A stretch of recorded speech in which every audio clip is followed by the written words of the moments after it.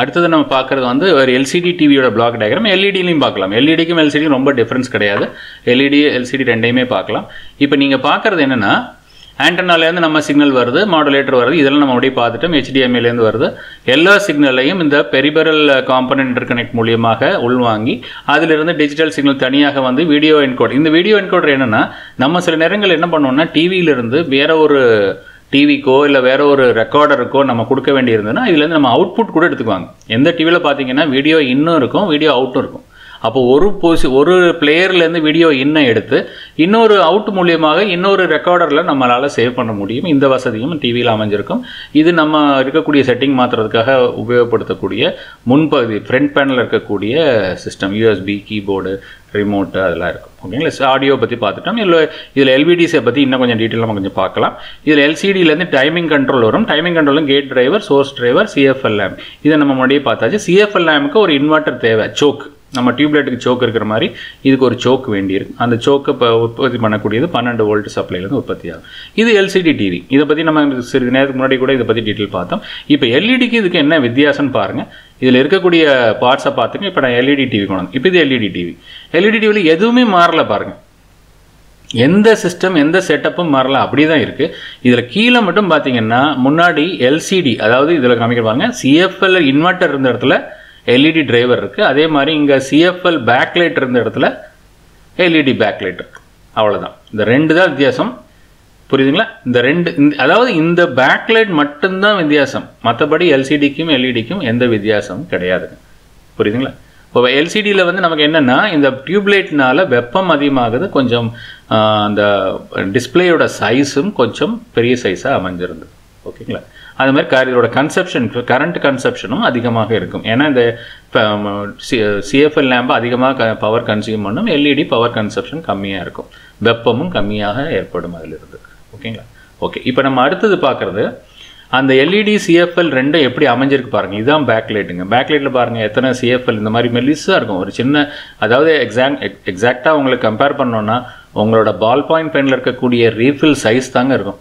ஆனால் இவ்வளோ லென்த் இருக்கும். இந்த டி நீங்கள் உங்களோட டிவி எவ்வளோ பெரிய சைஸோ அவ்வளோ பெரிய லென்த்தாக இந்த சிஎஃப்எல் லேம்ப் இருக்கும். அப்படின்னா பார்த்துங்க எவ்வளோ சின்னதாக அது இருக்கும். அதுக்கு தனித்தனியாக டிரைவர் போட்டு சீரீஸில் கொடுத்துருப்பாங்க. ஆனால் ஒரு ஒரு பல்பாக கொடுக்க மாட்டாங்க. இப்போ நாலு இருந்தால் நாலு சீரீஸில் போட்டு அதுக்கு டிரைவர் இன்வெர்ட்டர் போட்டு ஹை வோல்டேஜ் ஏற்படுத்தி அதில் கொடுத்துருவாங்க. டுவெல் வோல்ட்லேருந்து ஹை வோல்டேஜ் ஏற்படுத்திக்குவாங்க. ஹை வோல்டேஜுங்கிறது இன்வெர்ட்டர் நம்ம சொல்கிறோம் டிசியிலேருந்து ஒரு இன்வெர்ட்டர் வோல்ட் ஏற்படுத்தி அதை இதை வந்து ஒளிரிட செய்வாங்க. இதுதான் பழைய மெத்தட் இதுதான் எல்சிடி டிவின்னு சொல்லக்கூடிய சிஸ்டம் இது வந்து எல்இடி டிவிங்க எல்இடி டிவியில் பாருங்கள் ஒரு ஸ்ட்ரிப்பு நம்ம எப்படி டியூப்லைட்டுக்குள்ளே ஸ்ட்ரிப் இருக்கோ அதே மாதிரி ஸ்ட்ரிப்பு இதில் எல்இடிஸ் எப்படி அரேஞ்ச் பண்ணியிருப்பாங்க அரேஸில் இதில் ஏதாவது ஒரு ஸ்ட்ரிப்பு போனால் நம்ம அந்த ஸ்ட்ரிப்பை மட்டும் மாற்றிக்கலாம் அதுக்கான உள்ள டிரைவர் சைடில் இருக்குது ஸோ இப்போ இது வந்து பாருங்கள் இதுக்கு அதுக்கும் பார்க்கல இது எவ்வளோ டெப்த் இருக்குது பாருங்கள் ஆனால் இதில் டெப்த்தே இல்லை. அப்படியே ஒரு ஃப்ளாட்டாக ஒரு போர்ஷனில் வச்சுட்டாங்க. ஸோ அப்போ இதோட திக்னஸ் வந்து கம்மி. பவர் கன்சப்ஷன் கம்மிங்கிறதுனால இதுதான் அட்வான்டேஜஸ்ஸு இது வந்து லைஃபு கூட வரும். அது வந்து லைஃப் ரொம்ப கம்மியாக இருக்கும். ஹேண்டில் பண்ணுறதும் கொஞ்சம் கஷ்டம். ஓகேங்களா? ஓகே இதுதான் ரெண்டுக்கும் டிஃப்ரென்ஸ் இதை கேத்தோடு கோல்டு கேத்தோடுன்னு சொல்லுவோம். கோல்டு கேத்தோடுனா அந்த ஹீட்டர் ஃபிலமெண்ட் அதில் இருக்கக்கூடிய ஹீட்டர் ஃபிலமெண்ட்டும் கேத்தோடுங்கிற ஃபிலமெண்ட்டும் தனித்தனியாக இருக்கும். ரெண்டும் சேர்ந்துருக்காது அதனால் அது கோல்டு கேத்தோடுன்னு சொல்லுவாங்க. ஓகேங்களா? ஸோ இப்போ இது இது மாதிரி C cold cathode fluorescent light இது எல்இடி லைட் எமிட்டிங் லைட் உங்களுக்கு தெரியும். இதோட இன்வெர்ட்டர் போர்டு இப்படி இருக்கும். இதில் நாலு கொடுத்துருக்காங்கன்னா இது ஒரு ஒரு டியூபுக்கு ஒன்றும் இல்லை. இது ஒன்றில் வந்து சீரியஸாக கொடுக்கணும். இந்த பல்பை வந்து நாளையும் சீரியஸாக கொடுத்து ஒரு இதில் கொடுக்கணும். அந்த மாதிரி நம்ம கனெக்ஷன் கொடுத்துருப்பாங்க. அது ஒரு ஒரு டிவியை பொறுத்து அதோட அமைப்பு மாறி இருக்கும். எல்இடியும் அதை போல தான் இதில் இருக்கக்கூடியதை நீங்கள் ஸ்ட்ரிப்பில் சீரீஸாவோ பேரலாவோ அதில் எப்படி கனெக்ஷன் கொடுத்துருக்காங்களோ அதுபடி நம்ம கொண்டு வரணும்.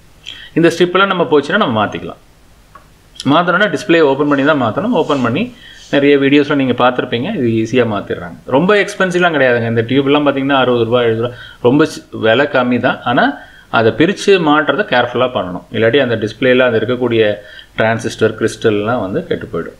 ஓகேங்களா? ஸோ அடுத்தது இந்த தின் ஃபிலிம் டிரான்சிஸ்டர் இது ரொம்ப முக்கியம். ஏன்னா அந்த அவ்வளோ தின்னாக இருக்கக்கூடிய மெலிதாக இருக்கக்கூடிய டிஸ்பிளேல இந்த டிரான்சிஸ்டர் எப்படி அமைச்சிருப்பாங்க? டிரான்சிஸ்டர்லாம் எவ்வளோ பெருசு இருக்குன்னு உங்களுக்கு தெரியும். அதில் சும்மா ஒரு ஒரு பிளாஸ்டிக் ஷீட்டில் பெயிண்ட் அடிச்ச மாதிரி தான் இருக்கும். ஆனால் அது டிரான்சிஸ்டர் அது வளையவும் செய்யும். அந்த டிரான்சிஸ்டர் வளைக்கவும் செய்யலாம். அது வந்து ஃபிலிம்னு சொல்லுவாங்க. அதனால் இந்த டிரான்சிஸ்டர் ரொம்ப ரொம்ப ஃபேமஸ் அப்போ இந்த டிரான்சிஸ்டர் மூலியமாக தான் நமக்கு தேவையான கிறிஸ்டலை சப்ளை கொடுத்து டேர்ன் பண்ண வைக்கிறாங்க. அப்போ ஒரு ஒரு கிறிஸ்டலுக்கும் ஒரு ஒரு டிரான்சிஸ்டர் இருக்கணும். அப்போ எத்தனை ரெசல்யூஷன் வேணுமோ அவங்க ஃபோர் கே எயிட் கேலாம் போனீங்கன்னா எவ்வளோ பிக்சல்ஸ் இருக்கோ எவ்வளோ மில்லியன் பிக்சல்ஸ் இருக்கோ அவ்வளோ டிரான்சிஸ்டர்ஸ் நமக்கு தேவை. அதனால தான் அதோட விலை வந்து நம்ம அதிகமாகிட்டே போகுது சைஸ் ஏறும்போது.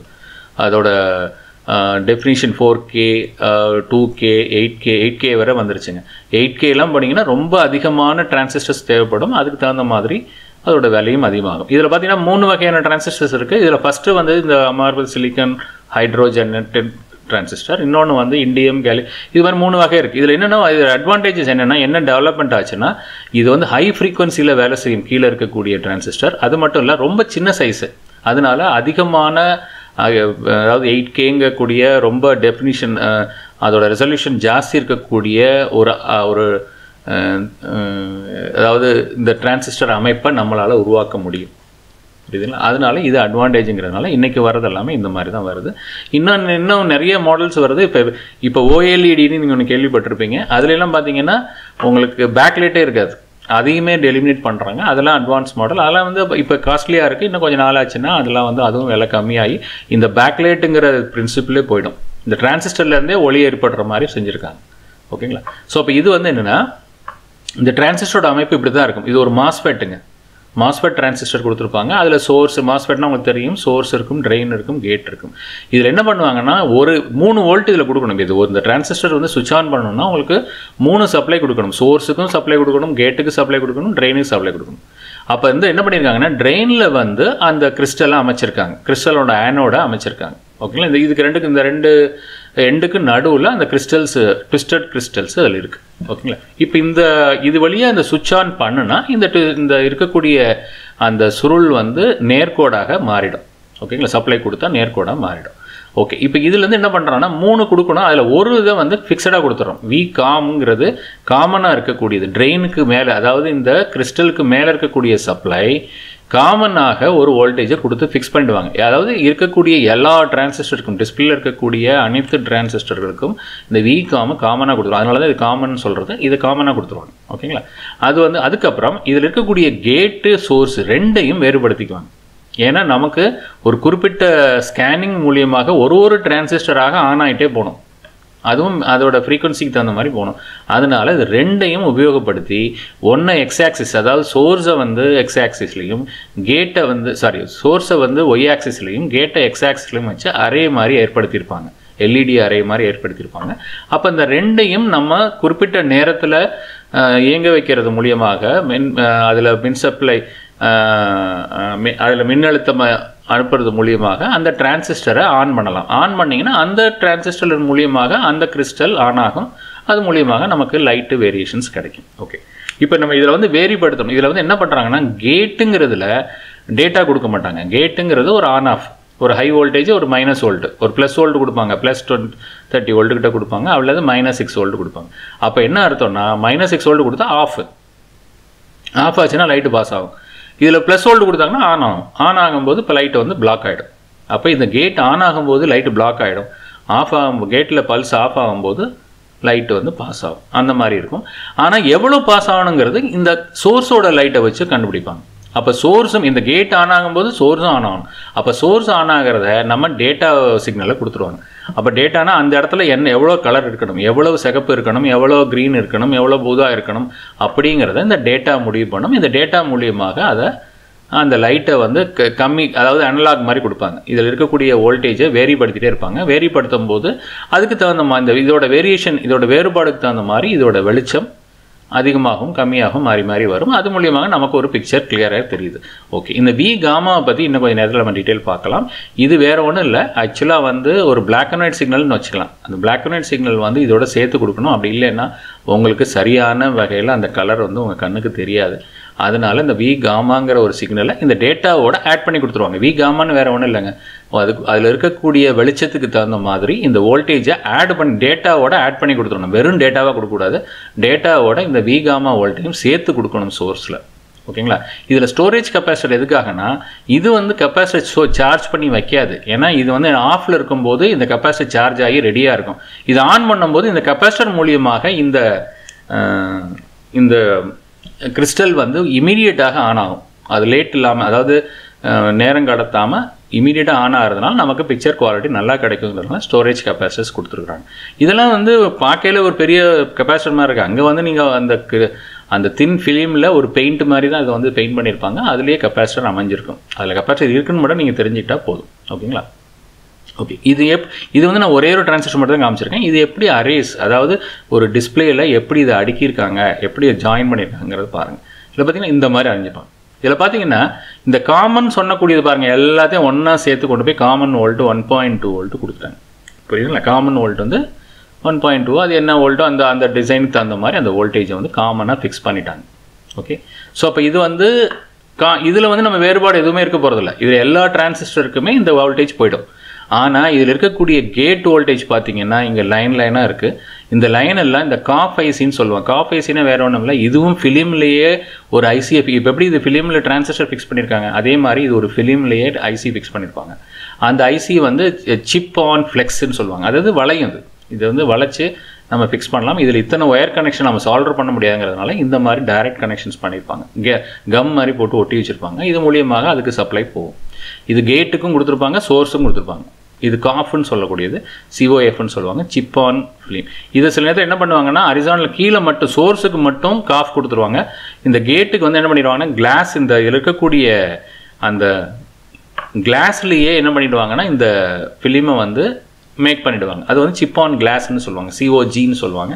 அதெல்லாம் லேட்டஸ்ட் அட்வான்ஸ்டு மெத்தடு ஓகே இப்போ இதில் பிக்சலுங்கிறது நான் ஏன் மூணு டிரான்சிஸ்டர் சேர்த்து ஒரு பிக்சல் சொன்னேன்னா நமக்கு ஒரு பிக்சலுங்கிறது ஒரு ரெட்டு ஒரு ப்ளூ ஒரு க்ரீன் இது மூணு சேர்ந்து தான் ஒரு பிக்சல் அதனால மூணு டிரான்சிஸ்டர் சேர்ந்து ஒரு பிக்சல் அப்போ எத்தனை பிக்சலுங்கிறது நீங்கள் அந்த மாதிரி கால்குலேட் பண்ணிக்கணும் ஆனால் இதில் ஆப்ரேட் ஆகிறது ஒன்று ஒன்றா தான் ஆப்ரேட் ஆகும். டேட்டா வந்து இது தனித்தனி டேட்டா இதுக்கு வரும். இதுக்கு ஒரு டேட்டா இதுக்கு ஒரு டேட்டா இதுக்கு ஒரு டேட்டா வரும். அப்போ இதில் இருக்கக்கூடிய சோர்ஸ் மூலியமாக அந்த டேட்டாஸ் மாதிரி வரும். இந்த கேட் மூலியமாக சோர்ஸில் தான் நம்ம டேட்டா கொடுக்க போகிறோம் அப்போ இதில் என்ன நீங்கள் அளவு வோல்டேஜ் கொடுக்குறீங்களோ அதுக்கு தகுந்த மாதிரி இதோட வெளிச்சம் மாறி மாறி வரும். அதுக்கு தகுந்த மாதிரி கலர் வெளிப்படும். இதில் சிகப்பு ஜாஸ்தி கொடுத்துட்டிங்கன்னா இருக்க பிக்சர் சிகப்பாக வந்துடும் இல்லை இதில் ஊதா ஜாஸ்தி கொடுத்தீங்கன்னா ஊதாவாக வரும். ஓகேங்களா?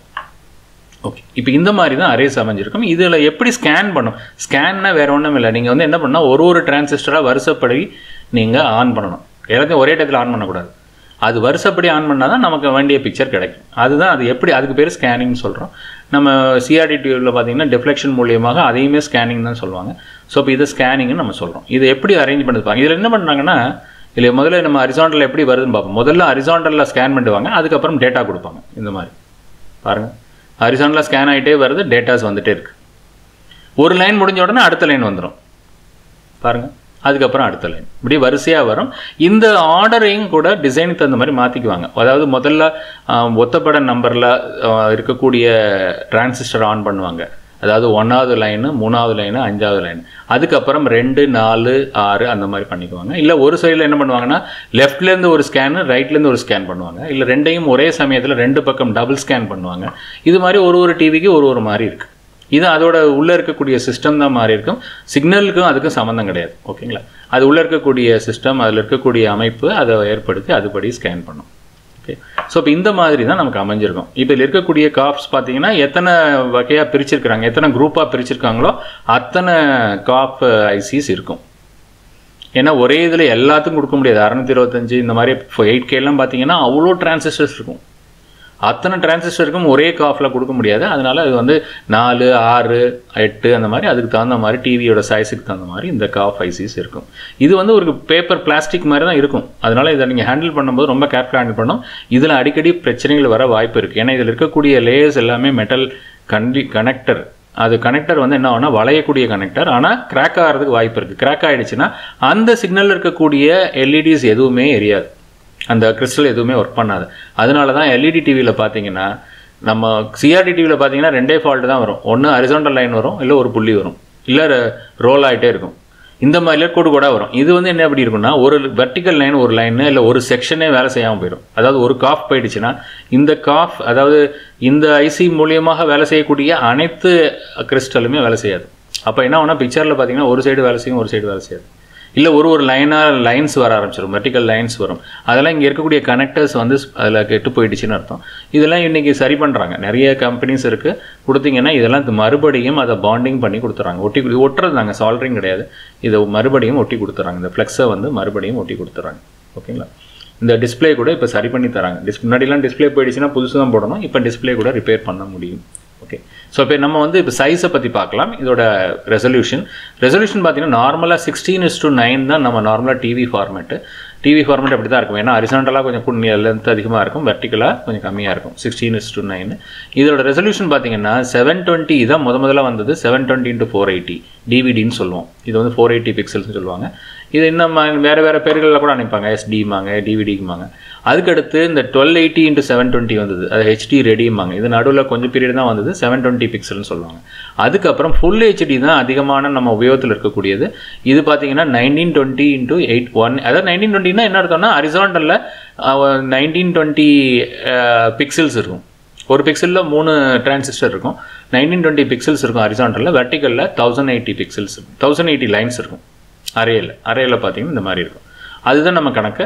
ஸோ இப்போ அந்த மாதிரி நம்ம பண்ணும்போது இதை ஃபுல் ஹெச்டின்னு சொல்கிறோம் இது ஒன் எயிட்டி தௌசண்ட் எயிட்டின் பிக்சல்னு கேள்விப்பட்டிருப்பீங்க. இந்த தௌசண்ட் எயிட்டிங்கிறது என்னென்னா இது இந்த இதில் ரெண்டு ஸ்கேனாக பிரிக்கிறதுனாலே போட்டிருக்காங்க. அதாவது தௌசண்ட் நைன் டுவெண்ட்டியை வந்து ரெண்டாக பிரிக்கணும். ஏன்னா அந்த வெர்டிக்கல் ஃப்ரீக்வன்சி நான் சொன்னேன் ஆடு லைனு ஈவன் லைனாக ரெண்டு ட்ரேஸாக பிரிக்கும். புரியுதுங்களா? அப்போ ஒரு பிக்சரை நீங்கள் ஃபுல் பண்ணணும்னா ரெண்டு தடவை ஸ்கேன் பண்ண தான் ஃபில் பண்ண முடியும். அதனால இதை வந்து நைன்டீன் டுவெண்ட்டின்னு கொடுத்துருக்கோம். அப்போ தௌசண்ட் எயிட்டி பிக்சல்ஸை நம்ம எடுத்துக்கணும். அதே மாதிரி இது வந்து three eighty three three thousand eight forty இது அடுத்தது வர்றது அல்ட்ரா ஹெச்டி அதில் வந்து TV one ultra HD TV டூன்னு ரெண்டு மாடல் வருது. அதாவது இது வந்து ஃபோர் கே இது எயிட் கே இப்போ எயிட் கே வருது. முன்ன இப்போ இப்போதைக்கு ஃபோர் கே அதிகமான புழக்கத்தில் இருக்குது இப்போ எயிட் கேயும் வந்திருக்கு. இது விலை அதிகமாக இருக்கும். ஸோ இப்போ எயிட் கே மாடலும் இப்போ வர ஆரம்பிச்சிருச்சு. எல்லாமே அதோட ரெசல்யூஷன்ஸ் தாங்க. வேறு ஒன்றும் இல்லை. அதாவது ஒரு குறிப்பிட்ட ஏரியாவில் எத்தனை டிரான்சிஸ்டர் உங்களால் அமைக்க முடியுதோ அதை பொறுத்து அதோட ரெசல்யூஷன்ஸ் மாறும். இப்போ அதே மாதிரி ரெசல்யூஷன் சைஸ் பார்க்கல இந்த டயங்கனில் தான் நம்ம சைஸ்னு சொல்லுவோம் எப்போதுமே.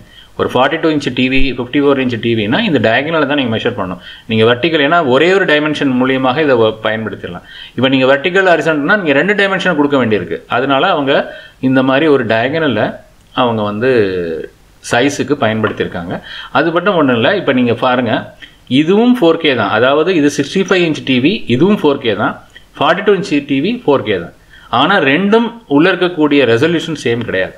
ஃபோர் கே தான். நம்ம நம்ம நினைப்போம் ஒரு டிவி வாங்கும்போது நான் ஃபோர் கே டிவி வச்சுருக்கேன். ஃபோர் கே டிவியே நீங்கள் சின்ன டிவியாக வச்சிங்கன்னா ரொம்ப நல்லாயிருக்கும் அதே ஃபோர் கே டிவியை நீங்கள் பெரிய டிவியாக வச்சீங்கன்னா கம்மியாக இருக்கும். பாருங்கள் இதோட பிக்சல் பர் இன்ச் பாருங்கள் சிக்ஸ்டி செவன் பாயிண்ட் செவன் தான் வருது. ஆனால் இதோட பிக்சல் பாருங்கள் ஒன் நாட் oh ஃபோர் இருக்குது இதை விட ஒன் பாயிண்ட் எயிட் டைம் வந்து செவன் டைம்ஸ் வந்து அதிகமாக இருக்குது அதிகமான நெருக்கத்தில் இருக்குது நெருக்கத்தில் இருக்கும்போது உங்களோட பிக்சர் குவாலிட்டி ரொம்ப நல்லா வரும். புரியுதுங்களா? அப்போ நீங்கள் ஃபோர் கே நீங்கள் ஒன்லி ஃபோர் கே மட்டும் செலக்ட் பண்ணக்கூடாது. அதில் இருக்கக்கூடிய பிக்சல் பர் இன்ச். அதையுமே நம்ம வந்து கவனத்தில் கொண்டு அதையுமே நம்ம நம்மளோட செலெக்ஷனில் அதையுமே பார்த்துட்டு அப்புறம் செலக்ட் பண்ணணும். அப்போ தான் உங்களுக்கு ஒரு சரியான பிக்சர் கிடைக்கும். ஓகேங்களா ஸோ இப்போ இதுலேருந்து ஒரு இன்ஃபர்மேஷன் உங்களுக்கு கிடச்சிருக்கும். அடுத்ததாக கலர் இப்போ மூணு கலர்லேருந்து எப்படி வந்து இத்தனை கலர்ஸ் வருதுங்கிறத நான் காமிச்சிருக்கேன். அப்போ என்னென்னா இது எயிட் பிட்டு அதாவது நம்ம கொடுக்கக்கூடிய டேட்டா வந்து எயிட் பிட் டேட்டா எட்டு ஒயர் உள்ள பேரலல் டேட்டாஸை நம்ம கொடுக்குறோம். அப்போ எயிட் பிட்டுங்கிறது டூ பவர் எயிட்டு அதாவது இரநூத்தி ஐம்பத்தாறு கலர்ஸ் வந்து உங்களால் உருவாக்க முடியும் எட்டு பிட்டில் அதாவது one one one one zero binary code உங்களுக்கு தெரியும். எட்டு பிட் உள்ள கொண்ட ஒரு பைனரி கோடில் உங்களால் இரநூத்தி ஐம்பத்தாறு டேட்டா ஒரு நம்பர்ஸை வந்து உங்களால் அனுப்ப முடியும். புரியுதுங்களா? அந்த மாதிரி அனுப்பணும்னா அப்போ எட்டு பிட்டில் வந்து இரநூத்தம்பத்தாறு தான் பண்ண முடியும். இதே நீங்கள் பதினாறு நீங்கள் அதிக பிட்டை அதிகப்படுத்திட்டு போனீங்கன்னா அதிகமாக போகலாம் ஆனால் நார்மலாக எயிட் பிட்டு தான் ஒரு கலர் கொடுப்பாங்க. அப்போ எயிட் பிட்டு வந்து நமக்கு ரெட் கலர் கொடுத்துருக்காங்க. Eight bit green colour eight bit அப்போ என்ன அர்த்தம்? சிகப்பில் வந்து ஒரு இரநூத்தம்பத்தாறு ஷேடு வருது. அதே மாதிரி பச்சை வண்ணத்தில் இரநூத்தம்பத்தாறு மு- ஊதா வண்ணத்தில் இரநூத்தம்பத்தாறு ஷேட்ஸ் கிடைக்குது. அப்போ இந்த மூணையும் வைத்து இதை வந்து ப்ராபபிலிட்டி காம்பினேஷன்ஸ் போட்டிங்கன்னா இது மூணையும் மல்டிப்ளை பண்ணால் பதினாறு புள்ளி ஏழு மில்லியன் கலர்ஸ் வந்து உங்களால் உருவாக்க முடியும். அதாவது இதில் ஒன்றாவது நம்பர் எடுங்க இதில் பத்து எடுங்க இதில் நூறாவது எடுங்க. அப்போ இந்த மூணு சே அந்த மாதிரி ஒன்று ஒன்று நீங்கள் காம்பினேஷன்ஸ் மாற்றி மாற்றி மாற்றி மாற்றி போட்டிங்கன்னா இத்தனை கலர்ஸை வந்து உங்களால் வேறுபடுத்த முடியும். இத்தனை கலரில் உங்கள் பிக்சர் வந்து அவ்வளோ கிளாரிட்டியாக உங்களால் கொண்டு வர முடியும். இது மூலியமாக தான் நம்ம வந்து ஒரு மூணு கலரை வச்சு ஒரு இது ப்ரைமரி கலர்ஸ்னு சொல்லுவோம். இந்த மூணு கலரை வச்சு இதை மிக்ஸ் பண்ணி பண்ணுறதுக்கு மூலியமாக நம்ம இத்தனை வகை க வ- வண்ணங்களை நம்மளால் உருவாக்க முடியும் டிவியில் அதனால தான் எல்இடி டிவியே ஃபோர் கே டிவிலலாம் அவ்வளோ கிளாரிட்டி இருக்குது ஓகேங்க இப்போ அடுத்தது காமா காமாங்கிறது ரொம்ப ரொம்ப முக்கியமான ஒன்று ரொம்ப கன்ஃபியூஸான ஒன்று நிறைய பேருக்கு இதை பற்றி சந்தேகங்கள் இருக்கும். காமா கரெக்ஷன்னா என்ன? இதுக்கு ஒரு தனியாக ஒரு ஐசியே கொடுத்துருக்காங்க. காமா ஐசின்னு கூட இருக்கும். ஏன்னா இந்த ஐசி எதுக்காக இதை பற்றி நான் சொல்ல விரும்புகிறேன்னா இந்த காமா ஐசி போச்சுன்னா எப்படி அதோட ரிசல்ட் இருக்குங்கிறது உங்களுக்கு தெரிஞ்சிருக்கணும். அப்போ தான் நீங்கள் இந்த காமா ஐசியை போய் அட்டன் பண்ண முடியும். ஓகேங்களா? ஸோ இப்போ காமா ஐசிங்கிறது என்னென்னா இப்போ இது பாருங்கள் ஒரு எக்ஸாம்பிள் காமிச்சிருக்கிறேன். ஒரு சூரிய வெளிச்சத்தில் ஒரு ரெண்டு வட்டத்தில் ரெண்டு கலர் கொடுத்துருக்கேன். ஒரு ஒயிட் கலர் ஒரு லைட் கிரே கலர் ஒரு டார்க் கிரே கலர் ஓகேங்களா? இது சூரிய வெளிச்சத்தில் காமிச்சிருக்கேன். இது வந்து இரவு வெளிச்சத்தில் காமிச்சிருக்கேன். ஒரு நிலா வெளிச்சத்தில் அதே கலர் தான். இந்த ரெண்டு கலரும் பார்க்கையில் உங்களுக்கு எப்படி தெரியுது? இது என்னமோ லைட்டாகவும் இது டார்க்காகவும் தெரியுது. உங்கள் கண்ணுக்கு எப்படி தெரியுது? இந்த கலர் ரெண்டும் லைட் கலராகவும் இந்த கலர் ரெண்டும் ரொம்ப டார்க்காக இருக்கக்கூடிய கலர் மாதிரி தெரியுது. ஆனால் டார்க் கலர் இல்லைங்க. இந்த கலரும் இந்த கலரும் சேம் அதே மாதிரி இந்த டார்க் கலரும் இந்த டார்க் கலரும் ஒரே கலர் தான். ஒரே காம்பினேஷன் தான். ஆனால் உங்கள் பார்வைக்கு ரெண்டுக்கும் வித்தியாசம் இருக்குது வெளிச்சத்தில் ஒரு மாதிரி தெரியுது இருட்டில் ஒரு மாதிரி தெரியுது. இது என்ன காரணம்? அப்போ நம்ம கண்ணோட சக்தி எப்படின்னா வெளிச்சத்து மொழி வெளிச்சத்தில் பார்க்கக்கூடிய அந்த கிரே கலர் கிரே கலர் தான் பார்க்கணுங்க கலர் இல்லை. இதில் இருக்கக்கூடிய கிரே கலர் மட்டும் பார்த்தீங்கன்னா வேறுபாடுகள் இருக்குது அப்போ நம்ம வந்து இதில் பார்த்தீங்கன்னா உங்களுக்கு அதிகமான வேரியேஷன்ஸ் உங்களுக்கு தெரியுது. இதுக்கு அதுக்கு நிறைய வித்தியாசங்கள் தெரியுது. இதில் பார்க்கல ரெண்டுக்கும் ரொம்ப வேறுபாடுகள் தெரியலை. இது எப்படி இருக்கும்னா இங்கே காமிச்சிருக்கேன் பாருங்கள் இது வந்து இர இரவு நேரம்னு வச்சுக்கலாம். இது வந்து வெளிச்சம்னு வச்சுக்கலாம். அப்போ இங்கேருந்து வெளிச்சத்தை நம்ம கூட்டிக்கினே வர்றது மாதிரி நம்ம வச்சுக்கலாம். இது வந்து டார்க் இருட்டு. இருட்டிலேருந்து சூரிய வெளிச்சத்துக்கு நம்ம வெளிச்சத்தை கூட்டிகிட்டே வரோம் அதே மாதிரி அதோட கிரேயை வந்து இங்கேருந்து டார்க்கு க கிரே இங்கே லைட்டு கிரேக்கு இங்கே கூட்டிகிட்டே வரும் இது ரெண்டுக்கும் நடுவில் நம்ம கண்ணால் பார்க்கக்கூடிய பிரைட்னஸ் பார்த்தீங்கன்னா இது நேர்கோடில் இருக்காது. லீனியாரிட்டி இருக்காது. நான் லீனியராக இருக்கும். நான் லீனியர்னால் நேர்கோடில் இல்லைன்னு அர்த்தம். இது கிராஃப் புரிஞ்சவங்களுக்கு புரிஞ்சுங்க. இது ஒரு சின்ன ஐடியாவுக்கு தான் கொடுத்துருக்கேன். ஸோ இப்போ ஆக மொத்தம் என்னென்னா ஒரே கலரை இரவில் பார்க்கறதுக்கும் ஒரே கிரே கலரை இரவில் பார்க்கறதுக்கும் வெளிச்சத்தில் பார்க்கறதுக்கும் வேறுபாடுகள் இருக்குது இந்த வேறுபாடை நம்ம வந்து டிவியில் அதுக்கு தகுந்த மாதிரி இந்த வேறுபாடுக்கு தகுந்த மாதிரி கலரை மாற்றணும் அதாவது வெளிச்சத்தில் வரும்போது இன்னும் கொஞ்சம் டார்க்காக இதை காமிக்கணும். புரியுதுங்களா? இது இரு இந்த மாதிரி இருட்டில் வரும்போது அதோட வெளிச்சத்தை கொஞ்சம் கம்மி பண்ணி காமிக்கணும். ஸோ இப்போ இந்த மாதிரி அதை வந்து இதில் அமைச்சிருக்கக்கூடிய வெளிச்சத்துக்கு தகுந்த மாதிரி அதில் இருக்கக்கூடிய கிரே அதோட கிறிஸ்டலுக்கு கொடுக்கக்கூடிய சப்ளை சோர்ஸுக்கு கொடுக்கக்கூடிய சப்ளையை மாற்றணும் அப்போ தான் நமக்கு இந்த மாதிரி கலர் கிடைக்கும். ஓகேங்களா அப்போ அந்த சிக்னலுக்கு பேர் தான் காமா அது வந்து கரெக்ஷன் சொல்லுவோம். ஏன்னா ஆல்ரெடி நம்ம சோர்ஸில் வந்து டேட்டா தான் கொடுக்குறோம். நம்ம அந்த பிக்சரோட அளவை தான் நம்ம அதில் கொடுக்குறோம். ஆனால் அதோட வெறுமன் அந்த அளவை மட்டும் கொடுக்காம அதோட இந்த காமா கரெக்ஷனுங்கிற இந்த வோல்டேஜையும் ஃபிக்ஸட் வோல்டேஜுங்க இதை வந்து ஒரு இரநூத்தி ஐம்பத்தாறு வோல்ட்டாக பிரிச்சிருவாங்க. அதாவது டுவெல் வோல்ட்டை வந்து இரநூத்தம்பத்தாறாக பிரிச்சிருவாங்க ரெசிஸ்டன்ஸ் போட்டு. அதுக்கு தகுந்த மாதிரி எந்த கிரே வருது எந்த அளவுக்கு நமக்கு வெளிச்சம் இருக்கோ அதுக்கு தகுந்த மாதிரி அந்த வோல்டேஜை அதில் ஆட் பண்ணிவிடுவாங்க இதெல்லாம் டிசைனில் வரும். உங்களுக்கு அது காமா ஐசினால இந்த வேறுபாடு நடக்குதுன்னு மட்டும் உங்களுக்கு தெரிஞ்சால் போதும். இது வேறுபாடை நான் இன்னும் இன்னும் உங்களுக்கு கிளியராக புரியறதுக்கு இந்த மாதிரி பிக்சரில் காமிச்சிருக்கேன். இதுதாங்க கரெக்ட் பிக்சர் அதாவது காமா கரெக்ஷன் பண்ணின பிக்சர் இப்போ கானம் காமா ஐசியில் ஏதாவது பிரச்சனை வந்ததுன்னா இந்த மாதிரி சேச்சுரேட்டட் ஆகிடும் பாருங்கள் கலரே கம்மியாக போச்சு சரியாகவே தெரில ஆனால் இது ஓவர் கலராக தெரியுது. இதுவும் டிஃபெக்ட் தான் இதுவும் டிஃபெக்ட் தான். அப்போ நீ இதுதான் கரெக்ட் கலர் அப்போ இதை கரெக்ட் பண்ணுறதுக்காக தான் அந்த காமா கரெக்ஷன் நமக்கு தேவை. காமா கரெக்ஷனாக வேறு ஒன்றுமே இல்லை. நீங்கள் கொடுக்குற டேட்டாவோட கொஞ்சம் வோல்டேஜை அதிகப்படுத்தி கொடுக்கணும் இல்லை கம்மி பண்ணி கொடுக்கணும். இடத்துக்கு தகுந்த மாதிரி. ரொம்ப வெளிச்சத்தில் பார்க்கணுன்னா கம்மி பண்ணி கொடுக்கணும். ரொம்ப இருட்டில் பார்க்கணுன்னா அதிகப்படுத்தி கொடுக்கணும். நீங்கள் கொடுக்குற டேட்டாவே அதிகப்படுத்தி கொடுங்க அதுக்கு வந்து கரெக்ஷன் வந்து ஆட்டோமேட்டிக்காக நடக்கணும். அது அதை வந்து சிக்னலில் வந்து நம்ம ஸ்டேஷன்லேருந்தோ நம்ம வீடியோ சிக்னல்லையோ எங்கேயும் ஆட் பண்ணியிருக்க மாட்டாங்க. அதில் இருக்கக்கூடிய கிரே ஸ்கேலுக்கு தகுந்த மாதிரி ஆட்டோமேட்டிக்காக நடக்கணும். அதுதான் காமா ஐசியோட வேலை. அந்த ஐசி வேலை ஒன்றும் செய்யாதுங்க. ஒரு டுவெல் வோல்ட்டை வந்து ஒரு ஃபோர்டீன் செக்ஷனாக ஃபோர்டீன் டைப் ஆஃப் வோல்ட்டாக மாற்றிடும் ரெசிஸ்டன்ஸ் சீரீஸில் போட்டிருப்பாங்க. வோல்டேஜ் டிவைடர் மாதிரி போட்டு பதினாலு வோல்ட்டு ஒன்றுலேருந்து பதினாலு வோல்ட் வர அந்த வோல்ட்டை வந்து தனித்தனியாக லைன் மூலியமாக காஃப் ஐசியில் கொடுத்துருவாங்க. காஃப் ஐசியிலேருந்து அது வந்து நமக்கு இந்த கிரே ஸ்கேலுக்கு தகுந்த மாதிரி அந்த டேட்டாவோட அந்த வோல்டேஜ் வந்து சேர்ந்து ஆட் ஆகி நமக்கு உள்ளே போயிடும் சோர்ஸுக்கு போயிடும். ஓகேங்களா சோர்ஸுக்கு போயிட்டு நமக்கு அது மூலியமாக அதோட வெளிச்சங்கள் நமக்கு தேவையான கரெக்ஷன்ஸ் ஏற்படும். ஓகே இப்போ அடுத்தது இதில் வந்து எப்படி காஃபைசி அமைஞ்சிருக்குங்கிறத பாருங்க. இப்போ இது வந்து டீகான் டீகான்ங்கிறது வேற ஒன்றும் இல்லைங்க டைம் கண்ட்ரோல் போர்டு அதாவது எந்த டைமில் எந்த எல்இடி எந்த ட்ரா எல்சிடி ஆக்டிவேட் ஆகணும். எது வழியாக எந்த அளவுக்கு நம்ம கலர் வரணுங்கிறதெல்லாம் இந்த டீகான் போர்டு வழியாக இந்த கண்ட்ரோல் ஐசிவை தான் நம்ம அது வந்து கண்ட்ரோல் பண்ணோம். இதில் வரக்கூடிய வீடியோ சிக்னலுக்கு தகுந்த மாதிரி இந்த கண்ட்ரோல் ஐசி நமக்கு அது சப்ளை ஒரு ஒரு எல்சிடிக்கும் பவர் கொடுக்கும். அதாவது இதுலேருந்து பார்த்தீங்கன்னா கேட் கண்ட்ரோல் கேட் கண்ட்ரோலில் ஆன் ஆஃப் தான். ஹைங்கிறது ஆன் லோங்கிறது ஆஃப் ஹைங்கிறது தேர்ட்டி வோல்ட் கிட்ட வரும் லோங்கிறது மைனஸ் சிக்ஸ் வோல்ட் வரும். அப்போது எந்த எந்த டைமில் எந்த குறிப்பிட்ட டைமில் நொடியில் இந்த ட்ரா எந்த டிரான்சிஸ்டர் ஆன் ஆகணுமோ அதுக்கு ஹை வோல்ட் கொடுத்துரும். எந்த டிரான்சிஸ்டர் ஆஃப் ஆகணும் எந்த லைன் ஆஃப் ஆகணுமோ அதுக்கு லோ வோல்டேஜ் கொடுத்துரும். அது இந்த வேலை செய்யும். அதாவது கேட் ஐசி செய்யும். வேறு ஒன்றும் செய்யாது. இதில் டேட்டாலாம் ஒன்றும் கிடையாது. இதில் எந்த கரெக்ஷன்ஸ் எதுவும் கிடையாது. அதே மாதிரி காமன் வோல்டேஜ் பிரச்சனையே இல்லை. ஒரு காமன் வோல்ட்டை நம்ம கொடுத்துறோம். ஒன் பாயிண்ட் டூ வோல்ட்டோ டூ வோல்ட்டோ த்ரீ பாயிண்ட் த்ரீ வோல்ட் அது என்ன காமன் வோல்ட்டோ நம்ம அதை வந்து நம்ம சப்ளையில் கொடுத்துருவோம். இந்த காமா கரெக்ஷன் நான் சொன்னேன் இல்லையா? ஒன்னுலேருந்து பதினாலு வோல்ட் வர ஒரு பதினாலு டைப்பு பிரித்து வச்சுருப்பாங்க. One volt two volt three volt four volt அந்த மாதிரி பிரிச்சிருப்பாங்க. இதை வந்து என்ன பண்ணுவாங்கன்னா அதில் இருக்கக்கூடிய கிரே ஸ்கேலுக்கு தகுந்த மாதிரி டேட்டா கொடுக்குறோம் இல்லையா? சே சோர்ஸில் தான் டேட்டா கொடுக்குறோம். நான் முன்னாடியே சொல்லியிருக்கேன். டேட்டாங்கிறது நம்ம வீடியோ சிக்னல் நம்ம படத்தோட டேட்டா அந்த சிக்னல் வந்து என்ன செய்கிறோம்னா சோர்ஸில் தான் கொடுக்குறோம். அந்த சோர்ஸில் கொடுக்கும்போது காமா வோல்டேஜையும் சேர்த்து கொடுத்துரும் அதுதான் கரெக்ஷன் சொல்கிறது இது வந்து காஃப் ஐசியில் கொடுத்துருவாங்க. கொடுத்துட்டாங்கன்னா இந்த காமா ஐசியோட வோல்டேஜ் வந்து ஒன்றுலேருந்து பதினாலு வோல்ட் வரை இருக்கலாம். அந்த வோல்டேஜை யார் டிசைட் பண்ணுறதுனா அதில் வரக்கூடிய கிரே ஸ்கேலுக்கு தகுந்த மாதிரி டிசைட் பண்ணிக்குவாங்க. அவ்வளோதாங்க ரொம்ப ரொம்ப சிம்பிள் இதெல்லாம் நீங்கள் தெரிஞ்சிட்டா போதும். ஏன்னா நம்ம வந்து அந்த பிரச்சனை வரும்போது எப்படி அதோட ரிசல்ட் வரும் தெரிஞ்சுன்னா காமா ஐசியை நம்ம செக் பண்ணலாம். அதுக்கு சப்ளை இருக்கான்னு பார்க்கலாம். இதுதான் வந்து சிப்பான் ஃப்ளக்ஸ்னு சொல்கிறது சிஓஎஃப்னு சொல்லுவாங்க காஃப்னு சொல்லுவாங்க. அதாவது டீகான் போர்டு இதெல்லாம் நீங்கள் அந்த பேர் வந்து எல்இடி டிவியை பற்றி சர்வீஸ் பண்ணுறதா இந்த பேரெல்லாம் வந்து நல்ல ஃபெமிலியராக இருக்கணும்.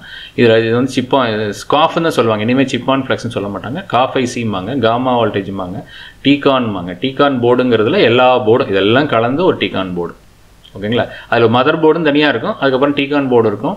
அப்புறம் driver board LED driver board தனியாக இருக்கும். அவ்வளோதான் அப்புறம் பவர் சப்ளை போர்டு சில மதர் போர்ட்லேயே வந்துடும் தனியாலாம் வராது. இவ்வளோதாங்க இல்லை சில நேரத்தில் பவர் சப்ளை போர்டு தனியாக கொடுப்பாங்க.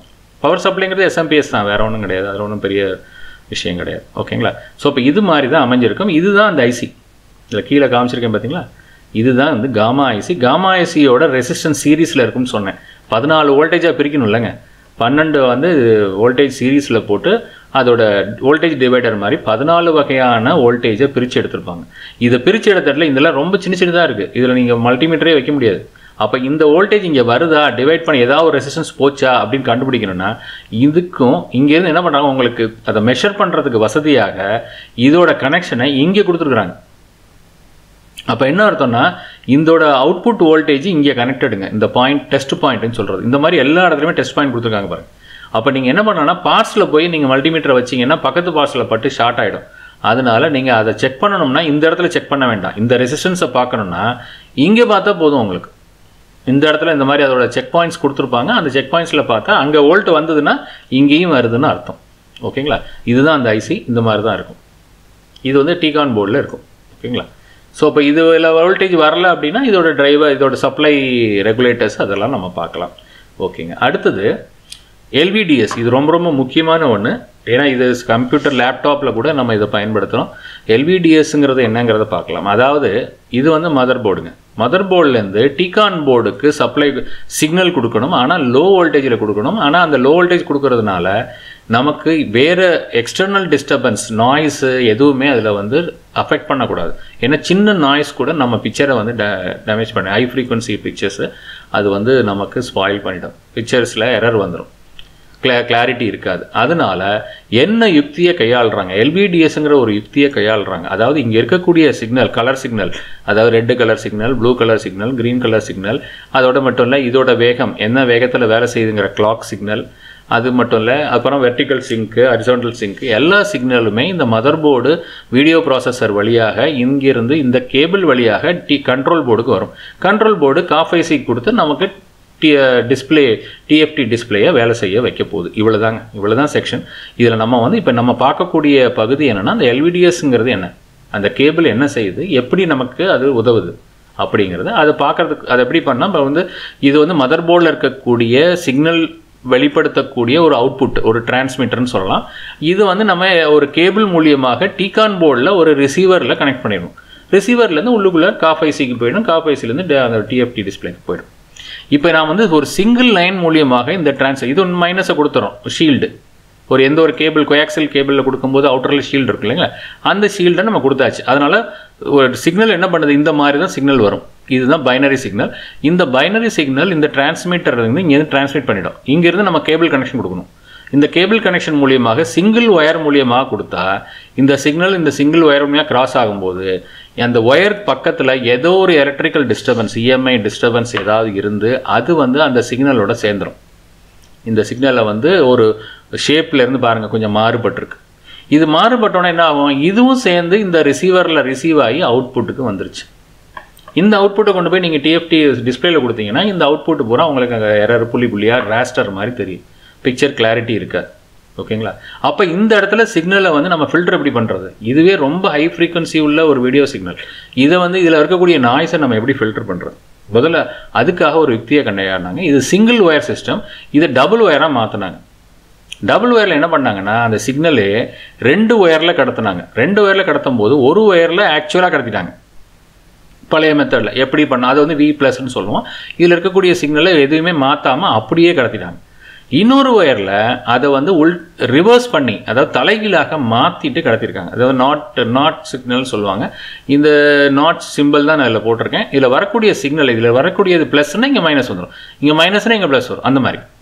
இ- அதாவது இங்கே டவுன் வரும்போது இங்கே அப் வரும். இங்கே அப்பு போகும்போது இங்கே டவுன் வரும். அந்த மாதிரி இதை வந்து இன்வெஸ்ட் பண்ணுறதுன்னு சொல்கிறது தான். இன்வெஸ்ட் பண்ணி இதில் அனுப்பிச்சிடுறாங்க. அப்போ இதனால என்ன பயன்? இப்போ என்ன செய்கிறாங்கன்னா அந்த டிரான்ஸ்மிட்டர் வந்து ரெண்டு சிக்னல் அனுப்புது. வி ப்ளஸ் வி மைனஸ் ரெண்டு சிக்னல் அனுப்புகிறாங்க வி ப்ளஸ்ங்கிறது ஆக்சுவல் சிக்னல் வி மைனஸ்ங்கிறது இன்வெர்டட் சிக்னல் இது என்ன ஆகும்னா இந்த டிஸ்டர்பன்ஸ் வந்து வி ப்ளஸில் மட்டும் போகாது. டிஸ்டர்பன்ஸ் ஏற்பட்டால் ரெண்டும் பக்கத்து பக்கத்தில் ட்விஸ்ட் எடுது இந்த ரெண்டு ஒயரையும் ஒன்றோட ஒன்று பின்னி அனுப்பிச்சிருவாங்க அந்த மாதிரி பின்னி வரும்போது அது என்ன ஆகும்னா நாய்ஸ் வர்றது ரெண்டுலேயும் தான் வரும். இல்லைங்களா? இதில் என்ன வருதோ அதே மாதிரி இதுலேயும் வந்துடும் அப்போ ரெண்டு நாய்ஸ் இருக்குது ஆனால் கடைசியில் இதை வெளியில் அவுட்புட் எடுக்கிற என்ன பண்ணுறாங்கன்னா ரெண்டுக்கும் உள்ள வேறுபாடை தான் அவுட்புட்டாக எடுக்கிறாங்க. ரெண்டுக்கும் உள்ள வேறுபாடை அவுட்புட்டாக எடுக்கிறாங்க. அந்த மாதிரி எடுக்கும்போது இந்த சிக்னல் இங்கே வந்து ஏ இறங்கும் போது ஏறும் போதுலேருந்து அங்கே இறங்கும் போதில் சிக்னல் நாய்ஸ் வந்து டிஸ்டர்ப் ஆயிருக்கு. அப்போ இது ரெண்டுக்குள்ள வித்தியாசத்தை மட்டும் நம்ம கனெக்ட் பண்ணுறதுனால இந்த சிக்னல்னா இந்த டிஸ்டர்பன்ஸ்னால ஏற்படக்கூடிய வேறுபாடுகள் நமக்கு இங்கே வராது. இப்போ புரிஞ்சிருக்கும்னு நினைக்கிறேன். இந்த இடத்துல ஏற்படக்கூடிய வேறுபாடு ப்ளஸில் இருக்கும். இந்த இடத்துல ஏற்படுத்தக்கூடிய த- அந்த இடர்பாடுகள் மைனஸில் இருக்கும். ப்ளஸ்ஸும் மைனஸும் இங்கே கேன்சல் ஆகிடும் பாக்கி இருக்கக்கூடிய இதுக்குள்ள வித்தியாசங்களை தான் நம்ம இங்கே ஆம்பிளிஃபை பண்ணி எடுக்கிறோம். அந்த ஆம்பிளிஃபை பண்ணுறதை தனித்தனியாக போடாமல் நான் இங்கே என்ன பண்ணியிருக்கேன்? ரெண்டையும் ஒன்றோட ஒன்று பின்னி போட்டிருக்கேன். இது என்ன காரணம்னா நம்ம கரெக்டாக சிக்னல் இருக்கான்னு செக் பண்ணுறதுக்காக இந்த மாதிரி ஒரு பேட்டர்னில் நம்ம ஆஸ்ட்ராஸ்கோப் மூலியமாக பார்க்குறது ஸோ இப்போ இது மூலயமா பார்க்கல எல்லோ மேலே இருந்ததுன்னா அந்த இந்த இது ஆனில் இருக்குன்னு அர்த்தம். அதாவது ஒன்றுன்னு அர்த்தம். பச்சை இந்த க்ரீன் கலர் மேலே இருந்ததுன்னா ஜீரோன்னு அர்த்தம். அப்போ இது வந்து ஜீரோ இது ஒன்று இது ஒன் அப்போ ஒன்று ஜீரோ ஒன் அந்த மாதிரி பைனரி கோடு வரும். இந்த பேட்டர்ன் பார்த்தீங்கன்னா ஒரு கண்ணு மாதிரியே இருக்குது அதனால இதுக்கு பேர் ஐ பேட்டர்ன் அவுட்புட்னு சொல்லுவாங்க. அதாவது நம்ம ஒரு அதை புரிஞ்சுக்கிறதுக்கும் அதில் இருக்கக்கூடிய குறைபாடுகளை தெரிஞ்சுக்கிறதுக்கும் இந்த மாதிரி ஒரு பேட்டர்னை நம்ம பயன்படுத்திக்கிறோம் அவுட்புட்டில் அதனால இது ஐ பேட்டர்ன் சொல்லுவாங்க. ஓகேங்களா? இப்போ நம்ம வந்து இந்த இடத்துல ஒரு ரெசிஸ்டன்ஸ் கொடுத்துருக்காங்க என்ன காரணம்னா இது வந்து ஒரு ரிசீவர் வந்து ஒரு ஹை இம்பிடன்ஸ் கொண்டது. அதனால இருக்கக்கூடிய சிக்னல் வந்து இங்கே ப்ளஸ் அனுப்புனீங்கன்னா இங்கே மைனஸ் கூட என்ன அர்த்தம்? இது வழியாக சிக்னல் போயிட்டு இப்படி ரிட்டர்ன் ஆகணும். இல்லைங்களா? அந்த மாதிரி ரிட்டர்ன் ஆகாது. ஏன்னா உள்ளே வந்து ஹை இம்பிடன்ஸ் இருக்கிறதுனால. அதனால ஒரு ஹண்ட்ரட் ஓம்ஸ் ரெசிஸ்டன்ஸ் கொடுத்துருப்பாங்க. அதனால நம்ம இது வழியாக ஹண்ட்ரட் ஓம்ஸ் வழியாக ரிட்டர்ன் ஆகிடும் அப்போ நம்ம இதில் இருக்கக்கூடிய வேறுபாடை தான் நம்ம இங்கே எடுத்துக்கிறோம். இந்த சிக்னல் ஆக்சுவலாக இதை கிராஸ் பண்ணி வரல. இங்கே கொடுக்கக்கூடிய வி ப்ளஸ் இந்த ஆர்எக்ஸ் வழியாக கிராஸ் பண்ணலை. ஆனால் இதோட வித்தியாசத்தை இங்கே இந்த ஆர்எக்ஸ் ஓபி ஆம்பிளிஃபயர்னு சொல்லுவாங்க. ஆப்ரேஷன் ஆம்பிளிஃபயர் மூலியமாக வெளியில் எடுத்துக்கிறோம். ஓகேங்களா? ஸோ அப்போ இந்த அவுட்புட்டை வந்து நம்ம என்ன செய்கிறோம்னா இந்த மாதிரி பேட்டர்னில் எடுத்துக்கிறோம். இதுக்கு நடுவில் இருக்கக்கூடிய மிடில் ஆவரேஜ் வேல்யூவை காமனாக எடுத்துக்கிறோம். இதனால் என்ன அட்வான்டேஜ்னா இப்போ நீங்கள் முன்னாடி பார்த்ததுல பார்த்தீங்கன்னா இந்த லைனில் இருக்கக்கூடியது ஒரு டூ வோல்ட்னு வச்சுக்கோம் அப்போ டூ வோல்ட்டுங்கிறது எதுக்கு ரெஃபரன்ஸு இந்த மைனஸுக்கு ரெஃபரன்ஸ் ஓகேங்களா? இந்த மைனஸ்லேருந்து வரக்கூடிய ரெஃபரன்ஸ் அப்போ நம்ம என்னன்னா இந்த டிரான்ஸ்மிட்டரில் என்ன வோல்ட்டு கொடுத்தோமோ அது மாதிரி இந்த டிரான்ஸ்மிட்டர் வோல்ட் வரும்போது மாறி மாறி போயிடும். இங்கே நீங்கள் வந்து இதோட பேஸ் வோல்ட்டு பார்த்தீங்கன்னா டூ வோல்ட் இருக்கும். இங்கே பார்க்கல ஒன் பாயிண்ட் டூ வோல்ட்டாக இருக்கும். அப்போ ரெண்டுக்கும் மேட்ச் ஆகாது. இந்த வித்தியாசத்தையும் நம்ம கரெக்ஷனில் கொண்டு வரணும். ஆனால் இதை பொறுத்தளவில் இந்த மைனஸ் தேவையே இல்லை. ஏன்னா இது ரெண்டோட டிஃப்ரென்ஸையே நம்ம வந்து எடுத்துக்கிறோம். இது எவ்வளோ தூரத்தில் இருந்தால் இதுலேருந்து இது ஒன் வோல்ட்டாக இருக்கலாம் அல்லது டூ வோல்ட்டாக இருக்கலாம் அல்லது ஃபைவ் வோல்ட்டாக இருக்கலாம். ஆனால் அதனால நமக்கு இங்கே இருக்கக்கூடிய அவுட்புட் பாதிக்க போகிறதில்ல ஏன்னா இதில் இருக்கக்கூடிய ரெண்டு லைன் வி ப்ளஸுக்கும் வி மைனஸுக்கும் இடர் இ- இடைப்பட்ட வித்தியாசத்தை மட்டும்தான் நம்ம பயன்படுத்திக்க போகிறோம் இங்கே இருக்கக்கூடிய ரெஃபரன்ஸ் வோல்ட் கிரவுண்டு வோல்டேஜை நம்ம பயன்படுத்த போகிறதில்ல அதனால இந்த டிரான்ஸ்மிட்டர் வோல்டேஜ் எதுவாக வேணால் இருக்கலாம் அல்லது ரிசீவர் வோல்டேஜ் எதுவாக வேணாலும் இருக்கலாம். அதே மாதிரி இந்த லென்த்து எவ்வளோ தூரம் வேணாலும் இருக்கலாம். நம்ம எளிதாக ஒரு லோ வோல்டேஜ் சிக்னலை எளிதாக இது வழியாக கடத்த முடியும் துல்லிதமாக. ஓகேங்களா? அதனால இதுக்கு பேர் லோ வோல்டேஜ் டிஃபரன்ஷியல் சிக்னல் ஏன்னா இதோட டிஃபரன்ஸை தான் நம்ம ஆம்பிளிஃபை பண்ணுறோம் லோ வோல்டேஜில் பண்ணுறதுனால லோ வோல்டேஜ் டிஃபரன்ஷியல் சிக்னல் இப்போ உங்களுக்கு எல்விடிஎஸ்னால் என்னென்னு தெரிஞ்சிருக்கும். இது ரொம்ப ரொம்ப முக்கியமான பாயிண்ட் ஒரு டிஸ்ப்ளே வரலைன்னா இந்த எல்விடிஎஸில் தான் நம்ம செக் பண்ணணும். அது மூலியமாக எந்த செக்ஷனில் ஃபால்ட்டுங்கிறது எளிதாக நம்மளால் பயன்படுத்த முடியும். அந்த எல்விடிஎஸ் ஓ சிக்னல் வரக்கூடிய அந்த ஸ்ட்ரிப்பில் என்னென்ன சிக்னல்லாம் இருக்குங்கிறத பார்க்கலாம். இது எல்விடிஎஸ் கனெக்டர் அதாவது மதர் போர்டுலேருந்து நம்ம டீகான் போர்டுக்கு போகக்கூடிய கனெக்டர் இந்த கனெக்டரில் பார்த்தீங்கன்னா முப்பது ஒயர் இருக்குதுங்க. முப்பது டெர்மினல்ஸ் இருக்குது இதில் பல சில ஒயர்ஸ் டெர்மினல் நம்ம யூஸ் பண்ணிக்கிறது இல்லை ஓகேங்க இப்போ இதில் பார்த்தீங்கன்னா ஒன்றுலேருந்து நாலு வரை அதை எதுவும் யூஸ் பண்ணல. நோ கனெக்ஷன் அதே மாதிரி இங்கே ஒரு நாலு கனெக்ஷன்ஸ் வந்து நோ கனெக்ஷன் இதில் எண்டில் இருக்கிறது நாலு ஒயரும் சப்ளை ஒயருங்க அதில் டுவெல் வோல்ட் சப்ளை இருந்ததுன்னா டுவெல் வோல்ட் சப்ளை ஒயர் இல்லை five வோல்ட்னா five volt supply wire ground அதோட ஃபைவ் வோல்ட்டு ப்ளஸ்ஸோட கிரவுண்டு இது. ஓகேங்களா?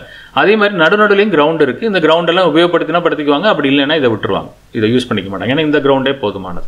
ஓகே. இப்போ இதில் பார்த்தீங்கன்னா ரெட் அதாவது ஜீரோ மைனஸ் ஜீரோ ப்ளஸ் அப்படின்னு ரெண்டு பாயிண்ட் கொடுத்துருப்பாங்க ரெண்டு சிக்னல் கொடுப்பாங்க. ஜீரோ மைனஸ் ஜீரோ ப்ளஸ் வந்து ரெட்டை குறிக்குது. இந்த சிக்னலை வந்து ரெட்டுக்கு பயன்படுத்திக்கிறாங்க.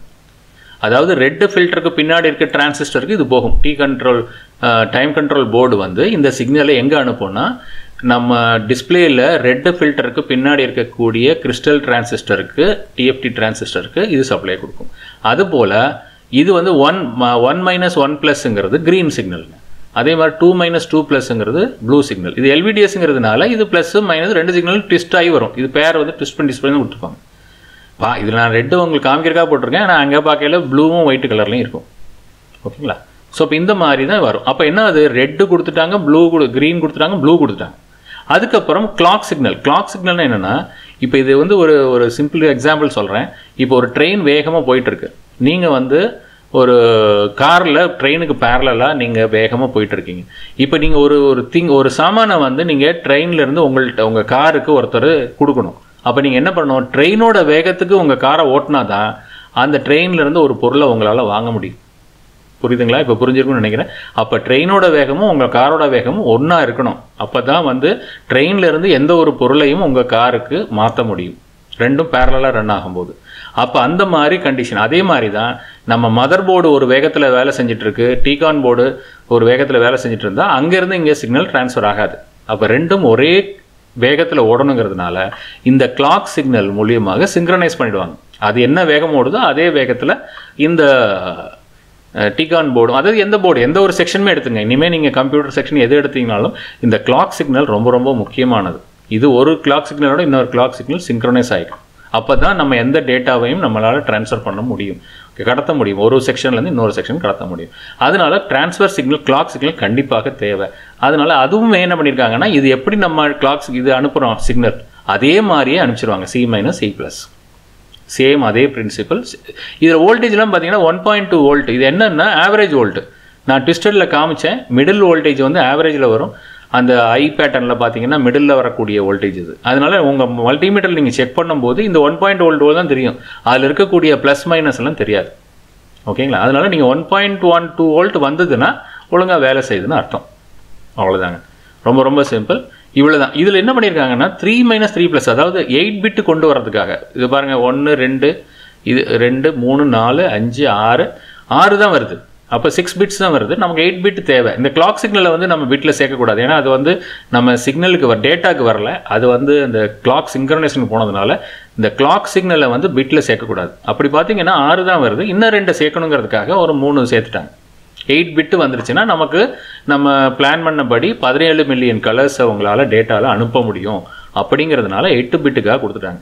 இதில் வந்து ஒரு மாதிரியா டிஃப்ரெண்ட்டாக பண்ணியிருப்பாங்க இதில் என்ன பண்ணியிருக்காங்கன்னா கொஞ்சம் ரெட் சிக்னல் கொஞ்சம் க்ரீன் சிக்னல் கொஞ்சம் ப்ளூ சிக்னல் இதில் ஃபுல் சிக்னலே ரெட்டில் கொடுக்க மாட்டாங்க. கொஞ்சம் இதில் சேர்த்து கொடுத்துருவாங்க.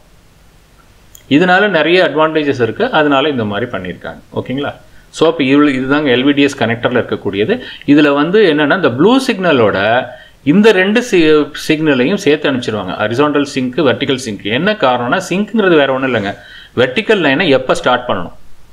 ஹரிசாண்டல் லைனை எப்போ ஸ்டார்ட் பண்ணணும்? அதாவது லெஃப்ட் மூலையிலேருந்து கீழே இறங்கக்கூடிய கேட் சிக்னல் எந்த முதல் நம்பர் ரோவில் இருக்கக்கூடிய கேட்டை எப்போ ஸ்டார்ட் பண்ணணும்? அதே மாதிரி காலமில் வந்து முதல் காலமை எப்போ ஸ்டார்ட் பண்ணணும்? இது ரெண்டையும் இந்த வெர்டிக்கல் சிங்க் ஹரிசாண்டல் சிங்க் மூலியமாக ஒருங்கிணைச்சிருவாங்க. இப்போ கிளாக் சிக்னலை ஒருங்கிணைச்ச மாதிரி தான் அது மாதிரி இதையும் ஒருங்கிணைச்சிருவாங்க. அதனால் அப்போ தான் உங்களுக்கு படம் சரியான முறையில் நமக்கு கிடைக்கும். ஓகேங்களா? ஸோ இப்போ அடுத்ததாக பேனல் வோல்டேஜுங்க பேனல் வோல்டேஜில் இந்த மாதிரி அந்த போர்டில் பார்த்தீங்கன்னா இந்த மாதிரி பல வகையான வேர்ட்ஸ் நம்பர்ஸ் யூஸ் பண்ணியிருப்பாங்க எழுத்து யூஸ் பண்ணியிருப்பாங்க இதெல்லாம் இந்த மாதிரி பாருங்கள் பாருங்க விஎன் விசிசி விஏ மூணு ஒன்று தான் இது பார்த்தீங்கன்னா த்ரீ பாயிண்ட் த்ரீ வோல்ட் இருக்கலாம் ஃபைவ் வோல்ட் இருக்கலாம் டுவெல் பாயிண்ட் ஒன் வோல்ட் இது எப்படி அந்தந்த அந்த போர்டை பொறுத்து இருக்குது அதே மாதிரி விடிடி டிவிடி இது three point two volt V கோருங்கிறது அந்த கோர் வோல்டேஜ் அதாவது மைக்ரோ ப்ராசஸர் மெயின் ப்ராசஸரோட வோல்டேஜ் இது பார்த்தீங்கன்னா பாருங்கள் ஒன் பாயிண்ட் ஒன் வோல்ட்டில் வேலை செய்யுதுங்க one point two volt one point three volt எவ்வளோ கம்மி வோல்ட்டில் வேலை செய்து பாருங்கள் அதனால தான் அது ப்ராப்ளம் எதுவும் வர்றதில்ல. ரொம்ப லோ வோல்டேஜ்னால பவர் கன்சப்ஷன் ரொம்ப கம்மியாக இருக்குது ஈவன் பேட்டரியில் கூட நம்மளால் ஆப்ரேட் பண்ண முடியுது. ஏவிடிடின்னு ஒரு வோல்டேஜ் டுவெல் வோல்ட் இது கொஞ்சம் அதிகமான வோல்ட் ஏங்கிறதுனால இது கொஞ்சம் அதிகமான வோல்டேஜ் விடிடி பார்த்தீங்கன்னா three point two volt low voltage ஏங்கிறது அதிகமான voltage twelve volt to eighteen volt இருக்கலாம். ஹெச்விடிடிங்கிறது சிக்ஸ் வோல்ட் நைன் வோல்ட்டு இதில் விஜி ஆன் இதுதான் வந்து வெர்டிக்கல் கேட்டை வந்து ஆன் பண்ணும்போது என்ன வோல்ட் கொடுக்கணும் ஆஃப் பண்ணும்போது என்ன வோல்ட் கொடுக்கணுங்கிறது இந்த ரெண்டு வோல்ட் தான் முடிவு பண்ணுது. விஜிஹெச் விஜிஎல் அது வந்து இப்படி கூட எடுக்கலாம் V on V off VG on VG off அல்லது இந்த மாதிரி கூட போடலாம். விடிடிஜி விஇஜின்னு போடலாம். இந்த மாதிரி ஒரு ஒரு போர்டில் ஒரு ஒரு மாதிரி சர்க்யூட்டில் மென்ஷன் பண்ணியிருப்பாங்க இதில் பார்த்தீங்கன்னா விஜிஹெச் பார்த்தீங்கன்னா twenty to thirty two volt இருக்குது மோஸ்ட்லி தேர்ட்டி டூ வோல்ட் இருக்கும். அதே மாதிரி விஜிஎல் பார்த்தீங்கன்னா மைனஸ் சிக்ஸ் இருக்கும் நார்மலாக minus five to minus eleven volt இருக்கும். வி காமன் பார்த்தீங்கன்னா ஃபைவ் வோல்ட் இருக்கும். சாரி வி காமன் நம்ம முன்னாடி ஒன் பாயிண்ட் டூ சொன்னேன். Five volt to seven volt இருக்கும். புரியுங்களா? வி காமன்ங்கிறது எல்லா டிரான்சிஸ்டருக்கும் காமனாக கொடுத்துருவாங்க. வி ரெஃபரன்ஸ் அது ஒரு டுவெல் வோல்ட் இருக்குது இதுதான் இந்த ரெஃபரன்ஸ் வோல்ட்டை தான் நம்ம ரெசிஸ்டர் மூலியமாக டிவைட் பண்ணி காமா வோல்ட்ஸாக நம்ம பிரித்து எடுத்துக்கிறோம். காமா வோல்ட்டு பார்த்தீங்கன்னா ஒன் வோல்ட்லேருந்து ஃபோர்டீன் வோல்ட்டு வந்துடும் ஓகேங்களா ஸோ இதுதான் வந்து பேனலில் இருக்கக்கூடிய வோல்டேஜ் டீட்டெயில் பேன் இது எதுக்காக கொடுத்தேன்னா இந்த இந்த எழுத்துகள் வந்து உங்களை குழப்பக்கூடாது. இதில் இருக்கக்கூடிய லெட்டர்ஸ் எழுத்துக்கள் வந்து நீங்கள் உங்களுக்கு குழப்பமாகக்கூடாது. ஈஸியாக ஒரே மாதிரி புரிஞ்சுக்கணுங்கிறதுக்காக நான் கொடுத்துருக்கேன். ஒரு ஐடியாக்காக ஓகே இதில் வந்து எப்படி அமைஞ்சிருக்குங்கிறத பார்க்கலாம். இப்போ பாருங்கள் டைம் கண்ட் அதாவது இது வந்து டீகான் போர்டை மட்டும் சொல்லியிருக்கேன். மதர் போர்டை பற்றி நம்ம பார்க்கல. டீகான் போர்டில் எப்படி இருக்குது பாருங்கள் எல்விடிஎஸ் கனெக்டர் கொடுத்துருக்கணும். Zero plus zero minus one minus one plus two minus two plus C clock pulse three minus three plus இது மாதிரி இப்போ சிக்னல் உள்ளே வருது. பவர் சப்ளையும் இதில் வந்துடுது இதில் டிசி டு டிசி ஐசின்னு ஒன்று இருக்குங்க. இதை பற்றி நான் இன்னும் கொஞ்சம் டீட்டெயில் கூட கொடுக்குறேன். இந்த டிசி டு டிசி ஐசி தான் அதிகமான ப்ராப்ளங்கள் வரக்கூடிய பகுதி. இதில் நம்ம இருக்கக்கூடிய வோல்டேஜ் எல்லாம் செக் பண்ணணும். இதுக்குள்ளே பார்த்தீங்கன்னா இதுவரை நம்ம பார்த்த பவர் சப்ளையில் பார்த்த buck buck boost converter buck converter எல்லா சிஸ்டமும் இதில் டபுளர் வோல்டேஜ் டபுளர் எல்லாமே இதில் உபயோகப்படுத்தியிருக்காங்க எல்லா வகையான சிஸ்டமும் இதில் உபயோகப்படுத்தியிருக்காங்க அது எப்படிங்கிறத நம்ம ஒரு சின்ன ஐடியா தரேன். ஓகே இது டிசி டு டிசி என்ன பண்ணுன்னா எல்லா வோல்டேஜையும் கன்வெர்ட் பண்ணி கொடுக்கும். கொடுக்குற வோல்டேஜ் டுவெல் வோல்ட்டாக இருந்தால் இது எல்லா வோல்டேஜ் விஜிஎல் விஜிஹெச் எல்லா வோல்டேஜையும் பூஸ்ட் பண்ணணும்னா பூஸ்ட் பண்ணி கொடுத்துரும். பக் பண்ணணும்னா பக் பண்ணி கொடுத்துரும். அது மட்டும் இல்லை இதில் எனேபிள் சுவிட்ச் கொடுத்துருப்பாங்க. எப்பப்பெல்லாம் அது ஆன் ஆகணுங்கிறத அந்த எனேபிள் சுவிட்ச் மூலியமாக முடிவு பண்ணிக்குவாங்க. தேவையில்லாத சமயத்தில் அது ஆன் ஆகக்கூடாதுங்கிறதுனால அதில் எனேபிள் சுவிட்ச் கொடுத்துருப்பாங்க. அது மட்டும் இல்லை வி ரெஃபரன்ஸ் உங்களுக்கு முன்னாடி சொல்லியிருக்கேன். டுவெல் வோல்ட்டு அது காமா ஐசி கொடுத்துருப்பாங்க. இதை வந்து நம்ம வி ரெஃபரன்ஸுங்கிறத வச்சு தான் நம்ம வந்து அதை வந்து என்ன பண்ணுறாங்க ரெசிஸ்டன்ஸ் மூலியமாக இந்த பாருங்க இது ரெசிஸ்டன்ஸுங்க ஆக்சுவலாக ரெசிஸ்டன்ஸ் மூலியமாக அந்த காமா ஐசியில் வித அந்த வோல்டேஜ் டிவைடராக மாற்றி அதில் வோல்டேஜ் பதினாலு வோல்ட் நம்ம நான் அஞ்சு தான் காமிச்சிருக்கேன். பதினாலு வோல்ட்டாக கொடுத்துருவாங்க. அதில் த்ரீ பாயிண்ட் த்ரீ வோல்ட் அந்த அந்த ஐசி வேலை செய்கிறதுக்கான உள்ள பவர் சப்ளை வோல்டேஜ் இதிலிருந்து வீக்காம் வோல்டேஜ் இந்த காமா ஐஸ்லேருந்து வெளியே எடுத்துருவாங்க. வீக்காம் வோல்டேஜ்ங்கிறது ஃபைவ் வோல்ட் இந்த வோல்டேஜ் டிவைடர்லேருந்து ஒரு ரெகுலேட்டர் போட்டு ஃபைவ் வோல்ட் எடுத்துருவாங்க. இதெல்லாம் வந்து அந்த ஃபோர்டீன் வோல்ட்ஸ் பதினாலு வகையான வோல்ட்டு இது தான் நான் சொன்ன கிரே ஸ்கேலுக்கு தகுந்த மாதிரி டேட்டா சிக்னலோட இது ஆட் ஆகி சேர்ந்து அதுக்கு ஆஃப் ஐசி மூலியமாக அந்த டிரான்சிஸ்டருக்கு போய் சேர்ந்துரும். ஓகேங்களா இதுதான். இந்த மாதிரி அமைஞ்சிருக்கும். இந்த டீகானோட கண்ட்ரோல் பூரா இந்த ஐசியில் இருக்குது இதில் தான் இந்த சிக்னல் கொடுக்குறோம். இந்த சிக்னல் டைரெக்டாக அதோட லைனுக்கு போயிடுது. வெர்டிக்கலுக்கு வெர்டிக்கலாக இந்த இந்த சிக்னலுக்கு காஃப் ஐசியில் போயிட்டு அந்த அந்த பிக்சலில் இருக்கக்கூடிய டிரான்சிஸ்டருக்கு அது வேலை செய்கிற பவரை கொடுக்குது. ஓகேங்களா? ஸோ இப்போ இதெல்லாம் இந்த டிரான்சிஸ்டர்ஸ் இந்த ஐசி தான் நமக்கு அது வேலை செய்யுது. இதில் டிடிஆர்னு ஒன்று கொடுத்துருக்குறாங்க ரேம் ஏன்னா இதில் வரக்கூடிய டேட்டாஸை ஸ்டோர் பண்ணி வச்சு அதில் வந்து அதை எப்படி ஆப்ரேட் பண்ணணுங்கிற ப்ரொசீஜர்லாம் நம்ம அதில் செய்யணும். டிடிஆர்னு நமக்கு தெரியும் ரேம் கம்ப்யூட்டரில் யூஸ் பண்ணுற மாதிரி தான். ஆனால் இதெல்லாம் வந்து போர்டுலேயே இருக்கும் தனியாலாம் இருக்காது. இது எப்படி நம்ம தெரிஞ்சுக்கிறதுனா ரேம் வந்து டிடிஆர் ஃபோராக இருந்தால் ஒன் பாயிண்ட் டூ வோல்ட்டில் தாங்க வேலை செய்யும். இதுவே பழைய டிடிஆர் ஒன்லாம் பார்த்தீங்கன்னா டூ பாயிண்ட் ஃபைவ் வோல்ட்டில் வேலை செய்யும். நமக்கு ஒன் பாயிண்ட் டூவில் வேலை செஞ்சது நல்லது. அதனால் டி- இன்னைக்கு வர மாடல் எல்லாமே டிடிஆர் ஃபோர் தான் இருக்கும். இந்த வோல்டேஜை வச்சு நம்ம கண்டுபிடிக்கலாம். அது டிடிஆர் ஃபோரா டிடிஆர் ஒன் பாயிண்ட் ஃபைவ் இருந்துச்சு அப்படின்னா டிடிஆர் த்ரீ அது. அப்போ இந்த ரேமுக்கு தகுந்த மாதிரி அதோட வேகம் அதில் இருக்கக்கூடிய கிளாரிட்டி எல்லாமே நல்லாயிருக்கும். ஓகேங்களா?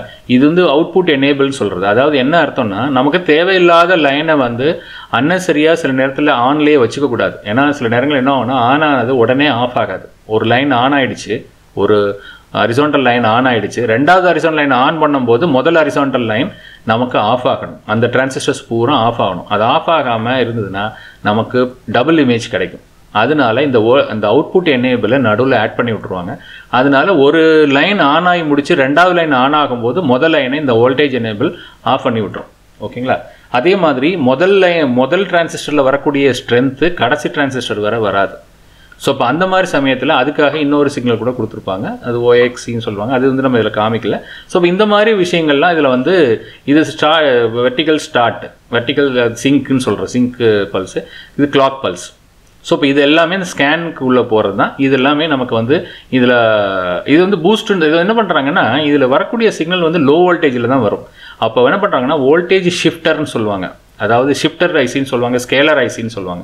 அது என்ன பண்ணுன்னா இங்கே இருக்கக்கூடிய மைன்யூட் வோல்டேஜ் பாயிண்ட் டூ வோல்ட்டாக இருக்கிறத இங்கே ஒன் பாயிண்ட் டூ வோல்ட்டாக மாற்றி கொடுத்துரும். அது அந்தந்த லெவலுக்கு வந்து பூஸ்ட் பண்ணி கொடுத்துரும். இதுக்கு ஒரு தனி ஐசி வச்சுருப்பாங்க. அது பேர் ஸ்கேலர் ஐசின்னு சொல்லுவாங்க அல்லது வந்து ஷிஃப்டர் ஐசின்னு சொல்லுவாங்க லெவல் ஷிஃப்டர் ஐசின்னு சொல்லுவாங்க. இதெல்லாம் நீங்கள் இனி வரக்கூடிய கம்ப்யூட்டர் மதர் போர்டு இதெல்லாம் நம்ம பார்க்கும்போது அதிகமாக பார்க்க போகிறோம் அந்த லெவல் ஷிஃப்ட்டில் என்ன ஆகும்னா நீங்கள் ஃபோர் வோல்ட் கொடுத்தீங்கன்னா இங்கே சைடு சிக்ஸ் வோல்ட்டாக மாறிடும். இல்லை ஒன் பாயிண்ட் டூ கொடுத்தீங்கன்னா இங்கே டுவெல் வோல்ட்டாக மாறிடும். அது மாதிரி அது வந்து லெவலில் ஷிஃப்ட் பண்ணி கொடுத்துரும். ஒரு சின்ன சின்ன டிரான்சிஸ்டர்ஸ் மாதிரி தான். அது மாதிரி சில நேரங்களில் பஃபர் ஐசிஸ் கொடுத்துருப்பாங்க. அதாவது இந்த செக்ஷனுக்கும் இந்த செக்ஷனுக்கும் சிக்னல் போகும்போது பஃபர் ஐசி வழியாக போகும். அது மூலியமாக போகிறதுனால இதில் இருக்க இம்படன்ஸ் அதில் இருக்கக்கூடிய இம்படன்ஸ் மேட்ச் ஆகும். இதோட இருக்கக்கூடிய பவர் சப்ளை எதுவும் இதோட கனெக்ட் ஆகாது. இந்த மாதிரி வசதிக்காக பஃபர் ஐசின்னு ஒரு ஐசி கொடுத்துருப்பாங்க. அதாவது சிக்னலில் பூரா டேரெக்டாக கொடுக்காம பஃபர் ஐசி மூலியமாக கொடுப்பாங்க. இந்த இடத்துல ஒரு பஃபர் ஐசி போட்டுருவாங்க. அப்போ என்ன ஒன்று டைரக்ட் கனெக்ஷன்ஸ் இருக்காது.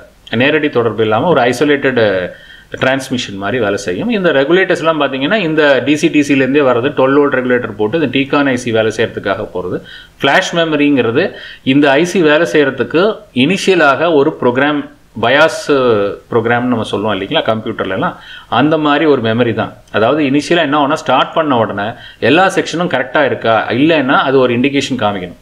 இந்த செக்ஷனில் ஃபால்ட்டு அதாவது உங்கள் keyboard display power main power இந்த மாதிரி எந்த செக்ஷன்ஸ் இனிஷியலாக அதாவது ஸ்டார்ட் பண்ணுறதுக்கு முன்னாடி கீபோர்டு எல்லாமே ஒழுங்காக வேலை செய்தா அப்படின்னு பார்க்கறதுக்காக ஒரு ப்ரோக்ராம் ஃபிக்ஸ் பண்ணுவாங்க. அதாவது ஸ்டார்ட் பண்ணும்போது செக் பண்ணுறதுக்கு பூட்டிங் பண்ணும்போது அதை வந்து செக் பண்ணுறதுக்காக உள்ளது.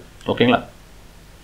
அந்த அந்த அந்த ப்ரோக்ராமை அந்த கோடெல்லாம் வந்து இந்த ஃப்ளாஷ் மெமரி சின்ன மெமரியில் இதில் கோட் பண்ணி வச்சுருப்பாங்க. ஓகேங்களா இந்த ஃப்ளாஷ்லாம் கூட ரீஃப்ளாஷ் பண்ணலாம். எப்படி கம்ப்யூட்டரில் பண்ணலாமோ இதே மாதிரி இதையும் கூட ரீஃப்ளாஷ் பண்ண முடியும். இது ஃப்ளாஷ் ஐசின்னு சொல்லுறது ரீட் ஒன்லி மெமரி மாதிரி. ஸோ இந்த மெமரியும் இதில் கனெக்ட் ஆகிருக்கும் ரேமோட ரெகுலேட்டர் வோல்டேஜ் இந்த வோல்டேஜ் இருக்குங்களா two point five one point five one point இதை வந்து இந்த இந்த டிசிடிசி வோல்டேஜ் வரக்கூடிய வோல்டேஜை ரேம்லேருந்து ரெகுலேட் பண்ணி இதில் கொடுத்துருவாங்க. இந்த மாதிரி தான் அமைஞ்சிருக்கும். இது இதில் கீழே இருக்குது டிஎஃப்டி பேனல் இது காஃப். காஃப் நான் சிங்கிள் தான் காமிச்சிருக்கேன். அது பேனலுக்கு தகுந்த மாதிரி நாலு ஆறு எட்டு அந்த மாதிரி வரும். இதில் நான் வந்து அது சோர்ஸ் மட்டும் தான் காமிச்சிருக்கேன். அதில் வெர்டிக்கலாகவும் இருக்கும். கேட்டுக்கும் தனியாக கூட இருக்கலாம். இல்லது நான் சொன்ன மாதிரி அதை கிளாஸ்லேயே அதோட டிரான்சிஸ்டர்ஸ் அமைச்சிருப்பாங்க. அந்த லைனை அனுப்பிச்சிருப்பாங்க காஃப் ஐசிஸ் அனுப்பிச்சிருப்பாங்க அதை வந்து நம்ம என்ன சொல்கிறோம்னா காஃப்னு சொல்கிறோம்ல காக்னு சொல்லுவாங்க. சிஓஜின்னு சொல்லுவாங்க. அதாவது சிப் ஆன் கிளாஸ் ஓகேங்களா? இது வந்து சிப் ஆன் ஃப்ளெக்ஸ் இந்த ஐசி இந்த கருப்பு கலரில் இருக்கிறது ஐசி இந்த லைன் லைனாக இருக்கிறதெல்லாம் அதோட ட்ராக்ஸ் ஓகேங்களா ஸோ இப்போ இவ்வளோதாங்க இதுக்கு அடுத்து இந்த DC DC DC to DC ஐசியை வந்து இன்னும் ஒரு டீட்டெயிலாக ஒரு ஒரு சின்ன ஒரு ஐடியாக்காக காமிச்சிருக்கிறேன். இது ஒரு மாடல் தான். ஆனால் ஒவ்வொரு டிவிக்கும் ஒரு ஒரு மாதிரி இருக்கும். ஓகேங்களா இது இது வந்து ஐசி உள்ளே என்ன இருக்குன்னு காமிச்சிருக்கேன். இது எதுக்காக காமிச்சேன்னா இதுக்குள்ளே இருக்கக்கூடிய பவர் சப்ளை பூரா நம்ம பல வீடியோவில் நம்ம பார்த்துருக்கோம். இதில் பாருங்கள் நம்ம பவர் சப்ளை டுவெல் வோல்ட் இதில் கொடுத்துட்றாங்க. உள்ளே ஒரு ஆசோலேட்டர் இருக்குது இங்கே ஒரு ஸ்டெப் டவுன் ஸ்டெப் அப் இருக்குது இதில் பாருங்கள் ரெண்டு டிரான்சிஸ்டர் போட்டு இது முன்னாடி நம்ம பண்ணியிருக்கிறோம். ஆசிலேட்டர் மூலியமாக இதை ஆப்ரேட் பண்ணுவாங்க. இங்கே பாருங்கள் ஒரு காயில் ஒரு ஷார்ட்கி டயோடு இருக்குது இந்த காயில் ஷார்ட்கி டயோட அதோட அரேஞ்ச்மெண்ட்டை பார்த்தாலே தெரியுது. இது வந்து பக்கு கன்வெர்ட்டர் முதல்ல டயோடு பேரல் ஆகும். காயில் சீரீஸ்லேயும் இருக்கிறதுனால இது பக் கன்வெர்ட்டரை வேலை செய்யுது. அதாவது டுவெல் வோல்ட்டை த்ரீ பாயிண்ட் த்ரீ வோல்ட்டாக மாற்றி கொடுத்துருது. ஓகேங்களா அதே மாதிரி இந்த ஆசிலேட்டர் இந்த பக்கம் பாருங்கள் ஸ்டெப் அப் பண்ணுது. ஸ்டெப் அப் ஒரு டிரான்ஸ்ஃபர் டிரான்சிஸ்டர் மூலியமாக தான் சுவிச் ஆன் சுவிச்சிங் பண்ணுறாங்க இந்த ஆசிலேட்டரில் இருக்கக்கூடிய ஃப்ரீக்வன்சியே இதில் சுவிச்சிங் பண்ணுறாங்க சுவிச்சிங் பண்ணும்போது இங்கே என்ன பண்ணியிருக்காங்கன்னா காயில் பேரலாகவும் ஷார்ட்கி டயோட சீரீஸ்லையும் கொடுத்துருக்காங்க. அப்போ இது ஸ்டெப் அப் பண்ணும். இது ஸ்டெப் அப் பண்ணி உங்களுக்கு வோல்டேஜை வந்து பன்னெண்டு வோல்ட்லேருந்து அதிகப்படுத்தி கொடுத்துரும். பதினாறு வோல்ட்டாக மாற்றி கொடுத்துருச்சு பாருங்க. ஓகேங்களா? ஸோ இப்போ இதுக்கெல்லாம் ஃபீட்பேக் வேணும்ல? நீ இது ரெகுலேட் பண்ணுற ஃபீட்பேக் தான் இந்த இடத்துல ஃபீட்பேக் எடுத்திருக்காங்க. வோல்டேஜ் டிவைடர் போட்டு ஃபீட்பேக் எடுத்து கொடுத்துருக்காங்க ஏன்னா அது கரெக்டான வோல்டேஜ் நிலையான வோல்டேஜை மெயின்டைன் பண்ணுங்கிறதுனால.